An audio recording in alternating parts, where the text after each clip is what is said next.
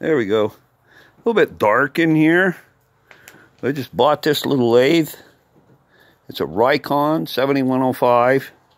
You have to change the belt, which is pretty simple to do to change the speeds. I took these little covers off because that was kind of a nuisance to keep getting them out of your way to change the belts. There's one on the top, one on the bottom. It's nice, quiet little lathe to run. I don't really know much about to be honest with you. This is all I've ever done. I had an old big Craftsman. I used to make wooden mallets with it to use them for, you know, driving stuff you don't want to mark up on steel, being gentle. And that's where this whole set of Craftsman skews and stuff came from. I don't, I don't know what they all do. I know a parting tool. I don't really know their names. But last, the other day I got a chance to go out and get some different woods.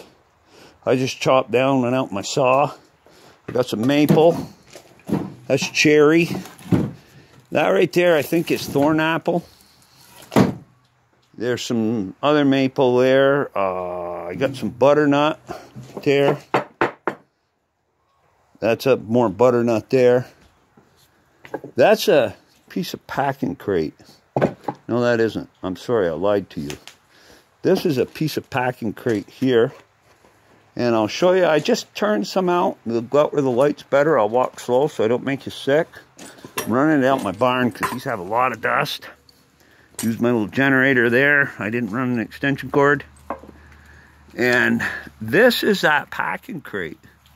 And that actually was one of the prettier ones. But I'm just learning. I, I really don't know what I'm doing with it. I just turned these round. I don't know what I'm going to do with them. That's a branch, piece of ash branch. That's a piece of apple. And I tried putting some stuff in it. I don't know if it'll work or not. That is red cedar, which isn't really red. It's a little harder than white cedar. That's butternut.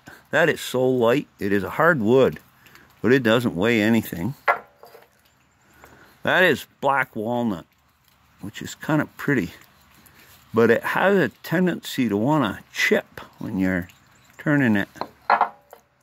This right here is that thorn apple that's just a little scrub that grows on hedgerows. It's really pretty. I don't know if the camera's picking that up or not. That's a piece of ash, white ash. That's actually a piece of that branch right there. This here is a piece of hardtack. I'm making myself a hammer with that. I'll square it up and get it bored. That right there, I don't know what I'm going to do with it. It, it was a dead cherry tree, but it still was solid after you got in it a little ways, so I cut it. And the grain is very pretty. It's just a piece, it's a piece of that right there. And you can see the outside's all punky. Uh, what's that one? That's a piece of apple too. And it's got that same crack in it. I don't know why they did that. I guess because it wasn't dry, but it should have been. That's a piece of tamarack. That is a, actually a softwood, but it does, uh, it turns nice. That's a piece of maple I was just playing around with. Not particularly pretty. I was hoping that it would be more... It was a branch. It was on the ground. I was hoping it... Well, it was a piece of that branch right there.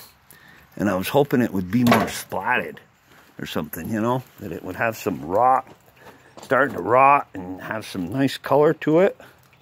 Anyway, that's what I've been playing around with today. Didn't know, but somebody might find it interesting. I don't know what I'm going to do with that stuff. I have bonfires, so if I don't use it for something, it'll get toasted. But thanks for watching.